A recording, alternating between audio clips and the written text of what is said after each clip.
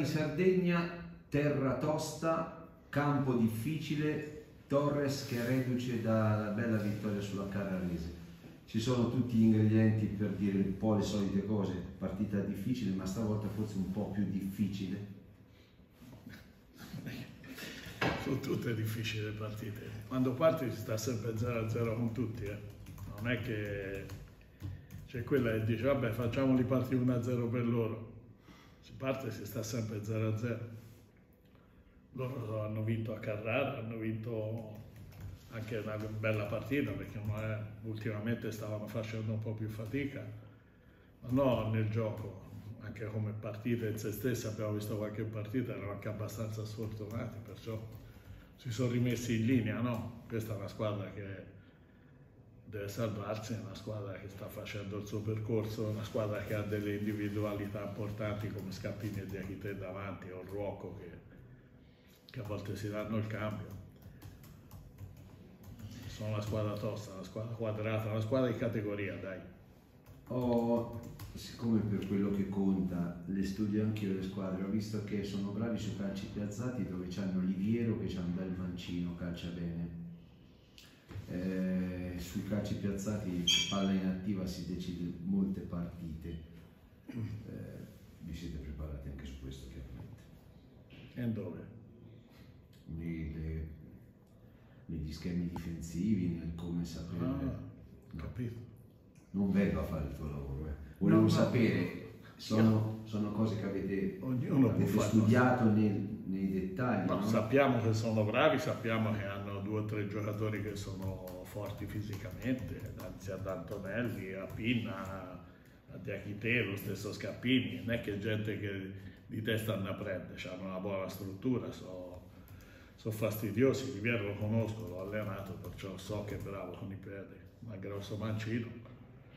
Perciò, eh, al di là di tutto, quando va a preparare una partita la prepari nel globale, prepari come atteggiamento quello che vuoi fare te e quello che ti possono permettere anche gli altri di fare te, perché poi in campo siamo due, eh, dipende anche dalle loro dalle loro condizioni, la partita si decide su tanti piccoli fattori perciò. Eh, da parte nostra si sono allenati tutti, stiamo abbastanza bene, ci sono delle defezioni. C'è Bonini che è squalificato, c'è Artistico che ha un problema e, e, forse ci potrebbe essere un altro problema, ma in questo momento qui poi me lo comunica il dottore se il problema è, serio, se no verrà via anche lui. Non mi chiede il giocatore perché no, sì, sì. mi sembra che non l'ho chiesto. No ma non, non, sta a me dirlo cioè qui c'è uno staff c'è sanitario. sì per carità. No, no ma guarda c'è uno staff sanitario è giusto che se deve comunicare qualcosa lo faccia lui. Quindi è Bonini squalificato e poi mi hai detto? artistico artistico ormai è lungo decennio eh, artistico c'è questo problema perciò, e poi ci potrebbe essere ma speriamo tutti di no un piccolo problema per un ragazzo. E adesso la domanda è scontata, sono pagato per farla. Che atteggiamento avremo come modulo? Pensi di cambiare o abbiamo assunto una fisionomia bella no, tosta? Ma noi vediamo le nostre cose in base a chi andiamo a giocarci contro e l'ho detto sempre, abbiamo due moduli di riferimento e a seconda di quello che al momento ci dà più garanzie per interpretare una partita lo mettiamo a campo. Gubbio non c'entra niente, fai lezione a Coverciano, dei due moduli, quale Piero Braglia preferisci? In assoluto non c'entra niente Gubbio, è una cosa proprio a livello accademico. A parte che io a Coverciano non ci vado. No, non ti fanno entrare. Perché c'è appunto, ho già capito, perciò perché mi devi fare queste domande? No, vabbè, eh, sei alla Sorbona del calcio se non è Coverciano e ti dicono fra questi due moduli in assoluto qual è secondo lei il migliore? ma non c'è un migliore, cioè quello è il momento della gara. Cioè qui si parla di moduli, di riferimento, anche l'anno scorso mi chiedevano sempre che modulo giochi, me l'avevano chiesto fino a che poi si andava sulle palle a tutti, no? Perché è così. Questo è il messaggio subliminale. No, ma no, ma, è, ma sono di una tranquillità, guarda proprio, che per me non è importante il modulo, è importante l'atteggiamento che si pone nella squadra, l'atteggiamento di quello che uno vuole fare un ragazzo della propria vita. Qui si parla tanto di moduli, ma non, moduli nel calcio, se non li cambi due o tre volte durante una partita, quando ti prendono le misure, che fai? Rimani attaccato al modulo perché te giochi in una maniera, allora gli dobbiamo dare un riferimento ancora. Il calcio è cambiato, calcio è cambiato e si evolve continuamente. È chiaro che se le cose vanno bene nessuno le va a toccare le cose, no? Ma se te le cose non ti girano bene, stai soffrendo, per dire, con la recanatessa abbiamo cambiato un sacco di volte, ma il prodotto non è cambiato, ha fatto una partita del cavolo e ha perso meritatamente. Perciò i moduli servono per far parlare, ma non... poi è tutto come uno riesce a stare a coprire il campo modulo è quello che copre meglio il campo, gli quello spazi. più adatto, gli spazi, quello che riesce a far giocare meno gli altri, di più te. Si parla sempre di questo, ma no. Ma la tua intelligenza calcistica, lo dicono i numeri, so, no, no, lo dico io, lo dicono i numeri. Allora, i numeri dicono che sei intelligente calcistica. Sì, eh, premessa questa. Mm, uno contro uno a tutto campo e adesso Gasperini ci ha fatto il famoso soldi eccetera. Gasperini Però tu hai una ventina d'anni che fai questo, eh? No, di più. Eh, appunto. Gasperini era a Crotone e io ero a Catanzaro. Lui è arrivato secondo e io sono arrivato primo, poi lui è salito con i playoff. Ma già lì si vedeva l'allenatore che è poi diventato. Sì, sì. Perciò non è che lui sempre, era difficile perché tirava pochi riferimenti davanti. Perciò ha fatto un campionato e un percorso che doveva fare perché per me è veramente bravo. Anche secondo me perciò non, io da parte mia ho fatto quello che dovevo fare io. Non, non, non, si sta a vedere, non puoi avere rimpianti quando alleni da 33 anni continuamente. Perciò no, ognuno poi ha il suo carattere, ognuno si pone in una certa maniera, ognuno vede le cose in una maniera. Quello...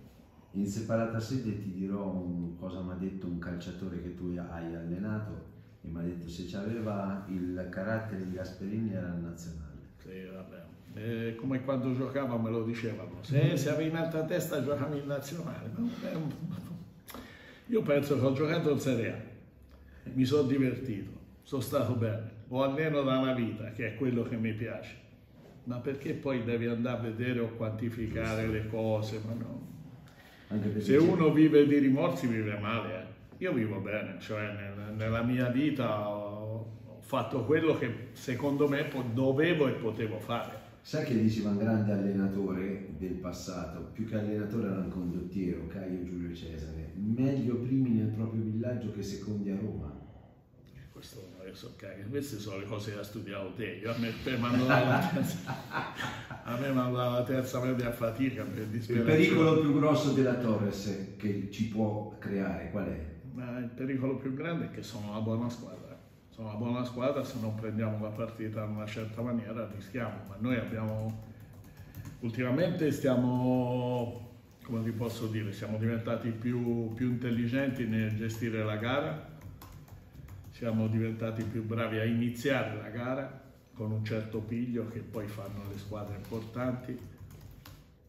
E poi è chiaro che non, non ci siamo solo noi in campo, noi dobbiamo non sbagliare partita, noi dobbiamo fare la partita che dobbiamo fare e poi vedere alla fine quello, quello che ci si presenterà dal campo, perché poi è sempre il campo che decide il tutto. Noi dobbiamo essere all'altezza, poi vediamo. Eh, stiamo, stiamo, diventando più bravi a iniziare la gara, un approccio migliore come le squadre importanti devono saper fare, non dobbiamo sbagliare di tutti i 20 giocatori, 19 che hai perso artistico, quello che ti fa incavolare di più, qual è? In questo, in questo gruppo? Eh. Boulevard. Eh. Ah, no, no, perché di solito gli allenatori normali si trincerano dietro al fatto, ma no, nessuno, so no, no, Boulevard. Perché? Perché è un capone. Perché... Perché ha mezzi incredibili. Esatto, poi è un centrocampista, lui si nasconde dietro il fatto dei 3, dei 2, dei 27, sono tutte cazzate. Io, giocatore, devi vedere, sai giocare a calcio? Sì. basta, poi ti devi adeguare, corri, sì, e allora qual è il problema? Se a 26-27 anni, come adesso Danilo, non riesce a gestire certe situazioni, vuol dire che dove si trova in questo momento qui è meritato da parte sua, perché lui ha mezzi anche per poter fare una categoria superiore tranquillamente.